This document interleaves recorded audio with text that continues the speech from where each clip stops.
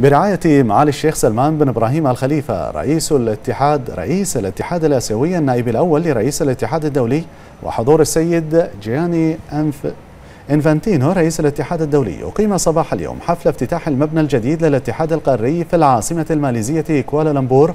وألقى معالي الشيخ سلمان بن إبراهيم كلمة. أكد فيها أن هذا المنجز المتميز يرسخ مكانة الاتحاد القاري مشيرا أنه تم وضع العديد من الأهداف لرفع قدرات الاتحادات الوطنية الأعضاء.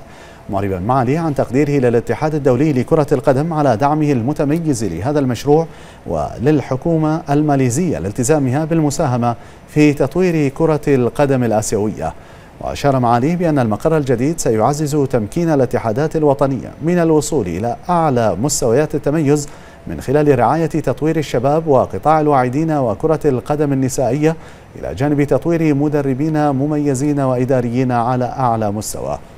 من جانبه أكد رئيس الاتحاد الدولي لكرة القدم جاني أنفانتينو أن هذا المشروع يعكس النقلة التطويرية الاحترافية للاتحاد الآسيوي للعبة بقيادة معالي الشيخ سلمان بن إبراهيم آل خليفة معتبرا أن مستقبلا باهرا ينتظر الكرة الآسيوية إذا ما وصلت السير على نهج التطوير المدروس الذي يتبناه الاتحاد القاري.